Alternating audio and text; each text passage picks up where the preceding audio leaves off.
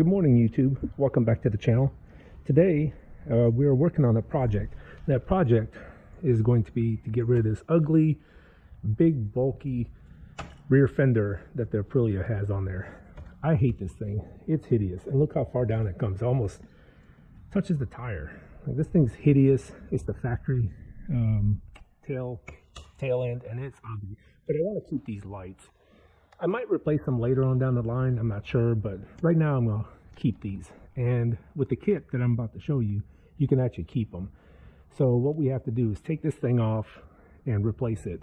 And to start off with, there's two screws right here on the bottom. and it's kind of hard to see, but two screws that hold on the bottom there. And then there's a nut right there. And then another one right there, if you can see it. Um, and then this whole thing will come off and then there's some plugs we have to unplug. But first let me show you the kit that I got. So this is the kit that I uh, got for the bike and it is a R&G Racing Fender Eliminator kit for the Aprilia Tuono or RSV4 from 2015 to 2020. And this is everything it comes with. It comes with uh, some zip ties and stuff, some electrical connections, a couple screws, and of course the kit itself. Uh, the kit has two pieces and this piece is the piece that's going to sit on the bike if you're looking at it from the left side like we just did. And then this piece will mount right about well it will mount kind of like sorry I have to do this one-handed but it will mount kind of like this. So it'll look like that. And this piece right here is the um, LED light for the license plate, which will pretty much mount just like this. And it will sit right there to illuminate the license plate. So as you're looking at it from the back, it will look like this. And this license plate light, it's an LED. It has electrical connections that doesn't have a plug on it. So we're gonna have to splice into the original LED or original wiring for the license plate light. So as you can see, it's got the plugs on the end. So then all we have to do is splice in and then there's more connectors like this that we're going to have to um, pinch onto the other wires, cut them, pinch them, and then connect them together. And then um, we'll put these little plastic things over top of it for good connection. And then they gave us these rubber sleeves for wires. I'm not exactly sure where we're going to use them. They also gave a QR code for the instructions, which I will take a look at just to be sure, and then uh, let you know what's going on. But for right now, let me take those two uh, screws and nuts off and see what happens. All right, YouTube, we got it off, and that screw just, just fell out. Under here, where the two uh, screws were, there's also another one right in this big hole that's underneath that sits just like this. So once you take that out, uh, it comes right off. And here's the screw that fell out. It's just a Phillips. So once you take that out, and here are the two uh, nuts that I took off that were right here those holes. And there's the other hole. And then I, this, uh, I don't know what this is, like a relay or something. It's uh, just hooked into this rubber rubber piece on these two uh, posts that stick up. And the wire this black wire just comes through the hole that goes to the um, tail tidy. And it's attached to this this plug right here. And so once we unplug this the whole thing should just come right off like so. There you go. There's the uh, the entire fender real rear fender. So now we have to do is take the uh, the turn signals off and figure out which one of these wires is for the turn signal because we're going to have to keep that. Then we're going to have to figure out which one is for the license plate light, which is right there by my thumb. So the only one we're going to disconnect is the license plate light and we're just going to cut it and then figure out which one it is on this plug. Should be the same color because it looks like the colors are the same. So we'll just figure out which one it is. And then uh, it looks like all we have to do really is uh, do the wires for the license plate light. The rest of the rest of the stuff for like for the turn signal, I'm gonna keep the uh, the plug and just plug it back in. And I think the new tail, tail tidy will take this bracket right here where the turn signal is installed. So we'll, we're gonna take that screw off and pull this thing out, pull this wiring harness out, and figure out what color it is. All right, YouTube. Here's the um, the license plate light. When I take it apart, it looks like it's uh, yellow and a like a greenish blue, and it looks like it's going to be the yellow right here in this greenish blue color. That's to be the license plate light. What I want to do now is I want to take off these four screws on the back and gain access to this wiring harness. I also want to take off these two uh, Allen heads right here with the nut on the back for the two turn signals and remove those and figure out which color goes to what. I took the two pieces apart from here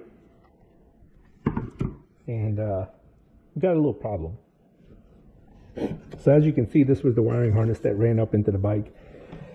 And then you have a wire right here that runs to the right side turn signal and then the one that runs to the left side turn signal and then the one that goes straight through the middle is the license plate light. But as you can see, the whole wiring harness here is attached together and then it runs through this tiny little hole. And these are my original turn signals, which I'd like to keep.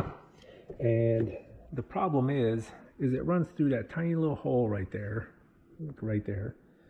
And it's all attached in here in this nice tubing. And I don't want to disassemble these uh, pins here and pull the wires out. I prefer not to do that. And I don't want to cut them. So I'm going to think about a minute and see, maybe I'll just cut this uh, weather stripping since we got new ones there. Uh, I think I'll uh, cut all this slice down and see if there's a way I can get that piece out and keep my turn signals without messing with the wires. Because the turn signals are plugged into this nice clip and I'd like to keep it plugged into the clip. But there, um, I don't care about the license plate light. That can go. So I got it out and uh, didn't cut any of the wires except the uh, license plate light because uh, we're going to reinstall a new one. Here's the old one. So we're not going to use that. But here's the new one. And what I did was I just took a pair of side cutters and cut this with a pair of side cutters and flipped it up and pulled the wire out. That was it, because we're not using that anymore.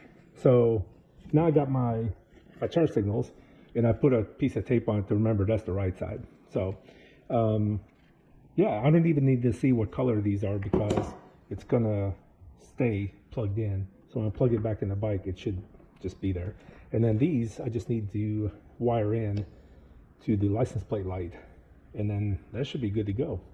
So now I just gotta um, put this bracket and this bracket that holds the license plate. I just need to put these together and they gave us they gave us uh, screws for it so I'm gonna go ahead and put that together and I need to put the license plate light onto this this bracket here and the way it's gonna go is uh, this middle hole I'm just gonna feed these wires through and then these little um, uh, screws right there will go through those two holes and they give you two of these tiny little nuts and washers that you put on the back of the these posts on the LED light and then that'll secure it.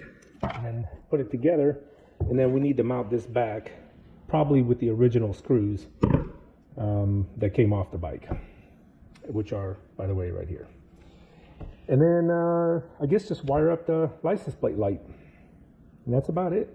But I am gonna I'm, I am gonna cut this open just a little bit just to make sure that I know what color the um, turn signal lights are. The reason being is because so the yellow and this this blue, this greenish blue, which is these two, was the license. Oops, sorry, was the license plate light, and I guess on one of these two is for the other side, one turn signal, the other turn signal uh, but there's no ground wire, so I'm not sure how that works. But anyway, we'll figure it out. I'm gonna look and see what color these are. I'll show you what I ended up doing. It's pretty easy. Uh, remember a minute ago I just talked about how I cut the uh, plastic to get the uh, the turn signals out. And I didn't even touch it. I didn't need to do anything with the wires. I didn't care what wires it was. The only thing I really needed to know is the blue and um, yellow wire that comes out for the license plate light. I didn't know which one went to which, but the instructions, uh, if you hit that QR code, the instructions will tell you that the red connects to the yellow and that the blue connects to the black. So when you when you turn it on,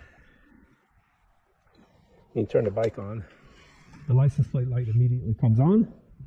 And then remember I put the green tape on the right side just so I remember. And I hit left. I got the left turn signal going. There's the uh, mirror turn signal. And then my left turn signal is on. If I hit the right turn signal, I get the right turn signal going. Same thing on the front. No error lights. Everything's good.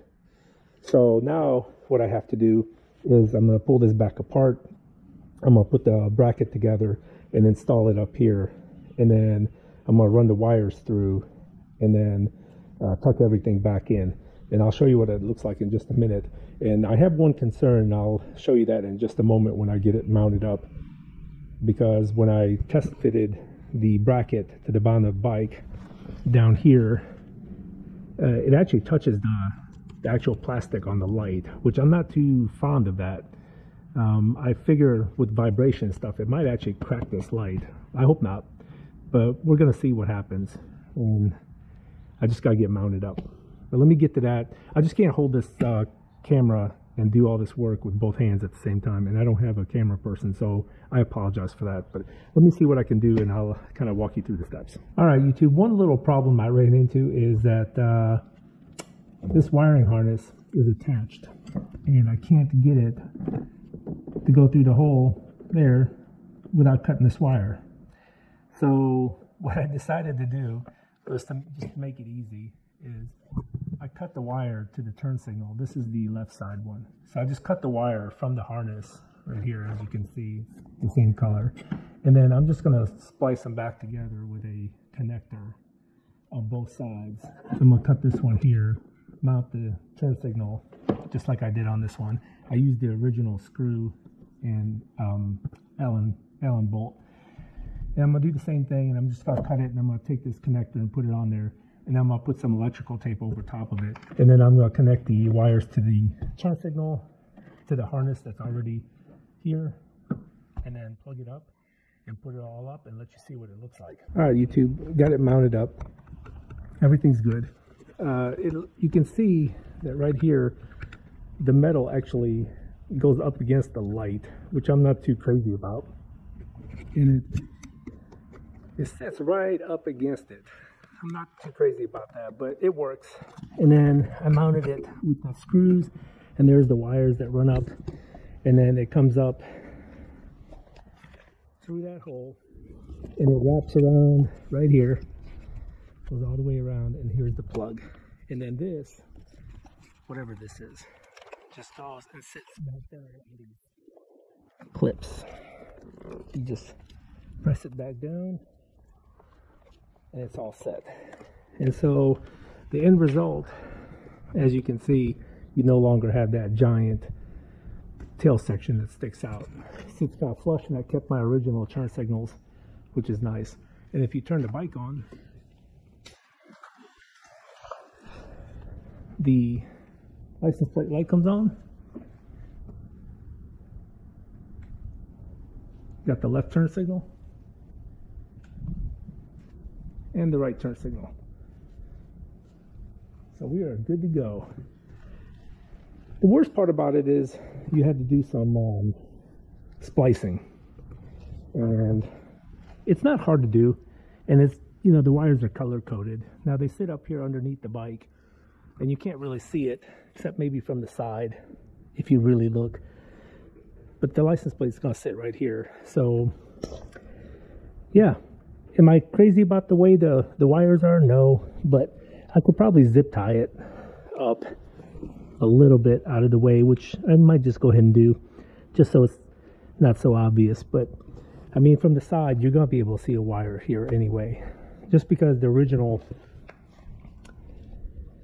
the original uh, tail, you know, stuck out and the wires ran inside the plastic. But here, you know, it's just a bracket. So it's going to be exposed a little bit. But I think if I zip tie at least most of it up, you won't be able to see it so much. Now I just put the license plate on and we're good to go. So this is the R&G rear fender eliminator kit for the Aprilia. And overall, I'm pretty pleased with it. I think it looks much, much nicer than the big bulky plastic one from the factory. Anyway, if you guys have any comments, questions, concerns, let me know. I'll answer them below. Thanks for watching.